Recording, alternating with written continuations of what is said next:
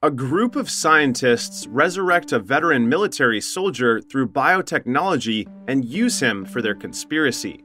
But what happens when the soldiers figure out the purpose of his resurrection? Let's find the answer in the movie. In Mombasa, Kenya, the U.S. military Air Force troops, including the veteran soldier Ray Garrison, are on a rescue mission. They are about to take down a group of mercenaries who have already killed four hostages and disposed of their remains. As they cannot locate the target, the troops receive a sit rep from their comrades that they will move to another location. Meanwhile, Ray finds the target area and hears the mercenaries talking inside a building. This prompts him to stand outside and impinge on the door, where the mercenaries make a response by firing from inside. Ray takes out a stun grenade from his pocket and throws it inside, making the mercenaries temporarily blind as well as lose hearing and balance. He then immediately asks, despite the lieutenant's order, to hold on to the breach, single handedly taking out all the targets with his rifle before going searching for further hostages. As Ray inspects the ground floor, he suddenly hears creaks on the ceiling, so he goes upstairs. On the second floor, he reloads his rifles and shoots more of the mercenaries. Once they are all down, Ray throws a smoke grenade into a room and silently enters, where he finds the last mercenary pointing his gun at the hostage's head. He slowly approaches them but stops when the mercenary orders him to drop his rifle, which he follows without further ado. Afterward, he inquires about what the mercenary wants, learning that he needs Ray's forces to pull back and a helicopter to flee with. Ray orders his teammate to hold fire while negotiating a deal with the mercenary before providing him with a chopper. He asks the mercenary where he keeps the phone, and as soon as the guy turns his head to show him, Ray pulls out the gun and shoots him. This leads Ray and his troops to a successful rescue operation as they get their target hostage secured from the mercenaries. After that, the US military aircraft transports them to Aviano Air Base in Italy where the US Air Force has permitted them to spend their vacation anywhere inside the country. Since that is the case, Ray feels happy to be able to reunite with his wife, Gina Garrison, who is waiting for his arrival on their base. They will finally get the opportunity to spend time together and enjoy the holiday by going to a coastal village in Italy located on the Amalfi coast. Once Ray and Gina reach their destination, they immediately drop themselves at a hotel to get some rest. The following day, when Ray wakes up, there is a letter from Gina telling him that she is going out to get something for their breakfast. While waiting for Gina to return, he goes to take a bath when suddenly two mercenaries appear from within the room and abduct him. Soon after, Ray discovers he is being held captive by a bunch of mercenaries while strapped to a chair. Martin Axe, the leader of the group, eventually appears in front of Ray and confronts him about the involvement of the US military in their objective to take hostages. Ray remains silent, so Martin presents him with Gina, who's also abducted by them, and presses him once more for information about who gave him the heads up to intervene in their hostage taking in Mombasa. But Ray still refused to disclose anything, claiming he was merely following orders and had no idea who might have tipped him off. In light of this, Martin brutally murders Gina in front of him, who promises vengeance after witnessing the act. But before he can do anything, Martin already takes his life. And yet, Ray wakes up later at the Rising Spirit Technologies laboratory where he is in an experiment led by the head scientist, Dr. Emil Harding. Harding is taken aback when Ray regains consciousness and remains stable, so he and his colleague KT immediately visit him. Once inside Ray's room, Harding explains to him that the US military usually lets RST take over disabled military veterans and other military patients so that the cutting edge biotechnology here can cure them. But Ray's case is exceptional because he was the test subject of their experimental nanite technology, which brings him back from the dead. This makes him the first successfully resurrected RST human subject of the RST's Bloodshot program to have his whole bloodstream replaced with nanites. This piques Ray's interest, and he demands Harding to break down every aspect of nanotechnology for him. After showing him the operating room and saying they work on developing methods to increase the speed and strength of the military's armed forces, Harding then brings Ray to his private laboratory room and suddenly slashes his hand to demonstrate the nanites. He reveals that the nanites are helping his body recover from injuries and it can also make him stronger. However, Harding cautions Ray that his nanites can run low, so they need to be recharged regularly to keep them from wearing out and causing him to die again. As the demonstration is over, he brings Ray to the rehabilitation center, introducing him to fellow patients like former U.S. Army Ranger Marcus Tibbs, who enhanced his sight with ocular prosthetics, and former Navy SEAL Jimmy Dalton, who engineered his feet even though Ray has already met KT, a female ex swimmer for the United States Navy, Harding introduces her again, saying that KT's enhancements are her larynx and trachea, which allows her to breathe through clavicle mounted respirations. Later at night, Ray struggles to sleep because he dreams of Gina and Martin and gets out of bed. He goes to the rehabilitation facility to work out, but stops when he sees KT taking late night diving. They chat and both decide on having a drink to relieve themselves from trouble sleeping. While imbibing, Ray unexpectedly hears the music Martin played while killing them, and he is immediately taken back to the moment when his wife was murdered. This prompts him to leave the RST and seek revenge for Gina's death by killing Martin. He hacks into RST's system with his nanites and utilizes the information to pinpoint Martin's precise location. When Ray learns that he is in Budapest, Hungary, he doesn't waste much time getting there and killing everyone connected to Martin, including the security personnel. Meanwhile, Harding observes Ray on the RST computer screen, witnessing firsthand how effectively Ray dispatches his targets. It is then revealed that Harding plots on making the Bloodshot program successful and eliminating every former associate who betrayed him, using Ray as his weapon. Therefore, he issues an instant order to KT, Tibbs, and Dalton to take Ray back to the facility. Once Ray returns, Harding puts him to sleep and orders Eric, his co scientist, to begin resetting his nanites and alter his recollection of Gina's death, replacing the person who kills her from Martin to a person named Nick Baris. KT protests this plan of Harding, but he ignores her and even threatens to shut her enhancements down if she tries to get in the way. When Ray awakens again with no memories, Harding pretends to be surprised again and begins reintroducing RST and the new developments in his body. As Harding continues to speak, Ray starts recalling Gina's death, in which he accuses Baris of kidnapping and brutally killing her. Livid, Ray leaves the RST again and follows Baris to East Sussex using his nanites. However, as Harding observes Baris's hideout via computer, he becomes suspicious seeing an unfamiliar man conversing with Baris. So he asks Eric about him and learns that he is Wilfred Wiggins, a skilled programmer and an open source contributor to many of his innovations, including the nanites. This alarms Harding and KT, but their worries escalate when they find out that Wiggins is ordered by Baris to come here because Baris can't stop panicking, knowing that Harding will send someone to kill him he forces Wiggins to place an electromagnetic pulse bomb that can incapacitate Ray in the room.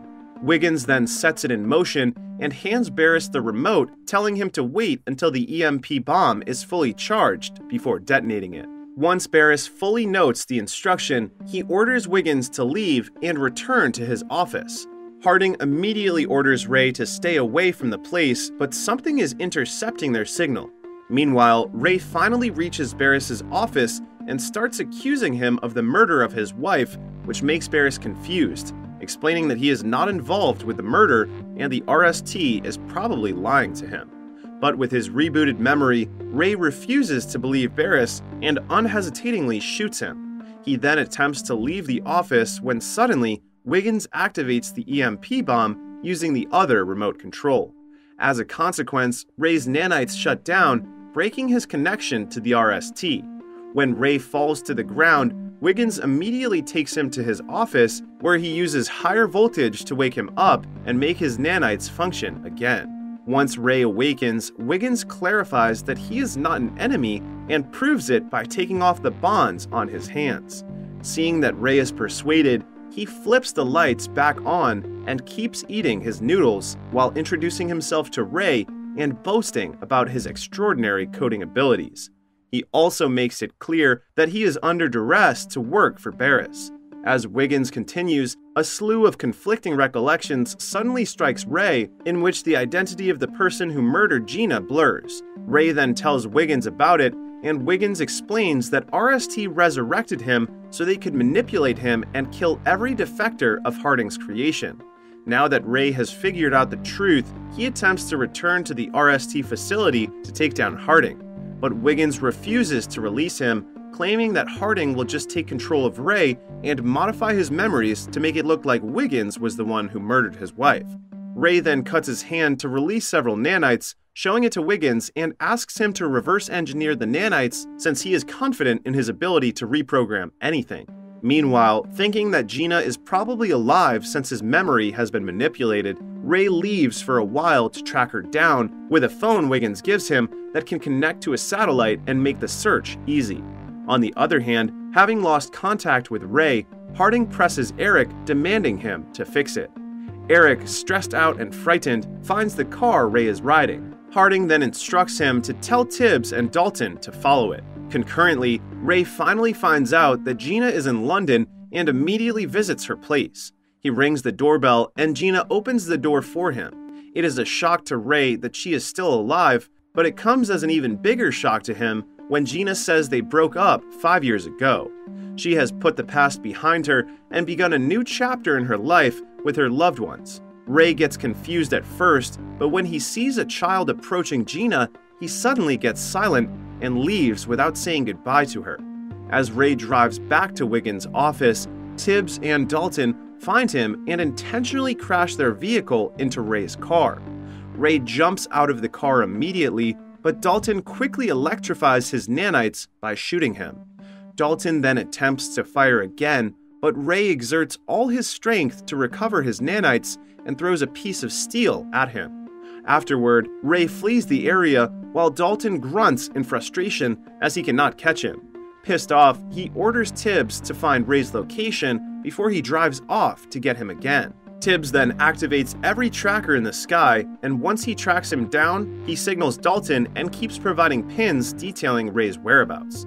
Dalton catches Ray on the road, but both of them are driven over by a truck, and Dalton's robotic legs break. Conversely, Ray's cybernetic upgrades keep him from ever getting hurt. Ray then rushes over to attack the vulnerable Dalton, but Tibbs thumps a jackknife across his back, rendering him unconscious. Afterward, they take Ray back to the RST laboratory to reset his nanites and modify his memories. After re establishing contact with Ray and seizing control over him once more, Harding orders KT to capture and kill him to prevent the exposure of the Project Bloodshot, but KT refuses to follow his order. However, Harding deactivates her enhancements and reminds KT that he has the means to eliminate her at any time if she ever again refuses to cooperate. He then activates her enhancement again, and KT has no choice but to do his command in capturing Wiggins. Soon after landing in London, KT gets a call from Eric informing her that Wiggins is in the Monteverde in Soho and has brought guards with him. KT then takes mental note of Eric's detailed description of Wiggins and patiently awaits his arrival at the front door. When she finally spots him emerging from the building, she launches her strategic attack by borrowing a lighter from him and blowing smoke right at his face until he passes out. KT then knocks off Wiggins' guards to ensure that no one would stop her from capturing Wiggins. But instead of murdering Wiggins, she plots a scheme with him against RST. KT has favored him for his potential assistance in her plan to escape RST's control and destroy the company's Bloodshot project. A while later, she returns to the RST facility alone and tells Harding that Wiggins managed to escape since he was anticipating her arrival. She then places the responsibility on Eric, saying he was careless in his search for Wiggins, leading to Harding's disappointment. Having exhausted all other options, Harding implements his backup plan, which entails giving Eric strict instructions to implant in Ray's memories that Wigan must be killed. This prompts KT to storm out of the laboratory and immediately proceed to the control room where she disrupts Ray's reprogramming process. She alters the sim and connects it to Wigan's computer to let him do the rest. On the other hand, Harding quickly realizes that KT has tampered with the simulator and rushes to the command center to stop her. But it's too late. Wiggins has already gained access to the RST administration and takes complete control of the awakened Ray. In preparation for Harding's arrival in the control room, KT suits up in body armor laden with smoke grenades. Once inside, Harding makes another attempt to use his remote to shut down KT's rebreather, only to find that he has been locked out. KT throws the smoke grenade at him and runs out of the command center. Afterward, she initiates phase 2 of their operation and destroys the RST technologies using canisters. Meanwhile, Harding informs Dalton and Tibbs that KT has gone rogue and Ray is awake and offline and commands them to find Ray, shut him down, and eliminate him if necessary. In the light of this, Dalton and Tibbs instantly put on their combat gears and grab their high tech weaponry. Tibbs tracks down Ray with the help of the cybernetic eyes monitoring system, while Dalton is on the mission of bringing him to heel. As they begin their task, Tibbs spots Ray on his way to the 74th floor level and notifies Dalton. Dalton, anticipating Ray's arrival on the floor, activates his advanced technology weapon and waits for an opportunity to attack. As expected, a battle breaks out between the two. However, it soon becomes clear that Ray is too powerful to be stopped alone, causing them difficulty recapturing him. Their battle gets more intense when the building begins to collapse and Dalton lets Tibbs fall even though he hears him yelling for aid. Dalton has no remorse and is solely focused on destroying Ray, but also gets killed when Ray falls, dragging him off the building. Ray, on the other hand, survives due to the nanites that protect him from damage.